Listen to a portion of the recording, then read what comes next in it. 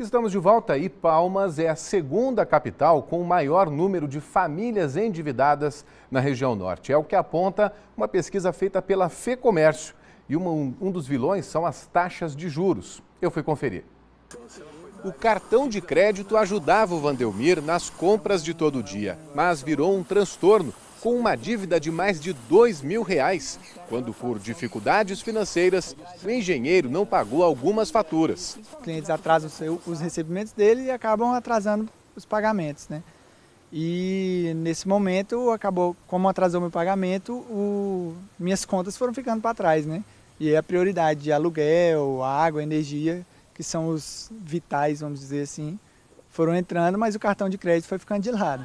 Segundo um levantamento da Federação do Comércio, 69% das famílias de Palmas têm dívidas.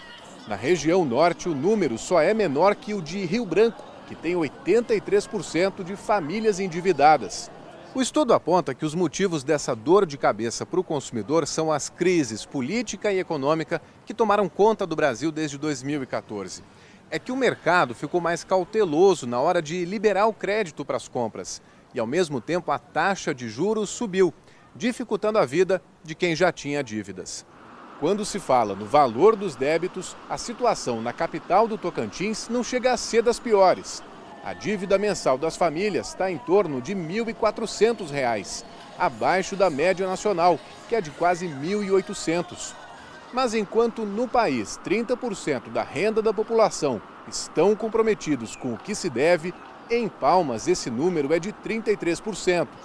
Essa economista diz que quem quer diminuir as dívidas não precisa deixar de fazer compras, mas tem que tomar alguns cuidados. O que você deve evitar são compras com juros altos. Parcelas em cartões de crédito, beleza, pode comprar. Mas você vai comprar com juros ou sem juros? Você tem essa opção, tem lojas que te dão a opção.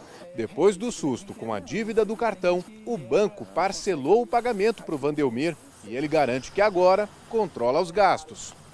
Evitar o máximo cartão de crédito, é, essas coisas parceladas, para poder ter a garantia de que no outro mês você consegue quitar tudo tranquilo.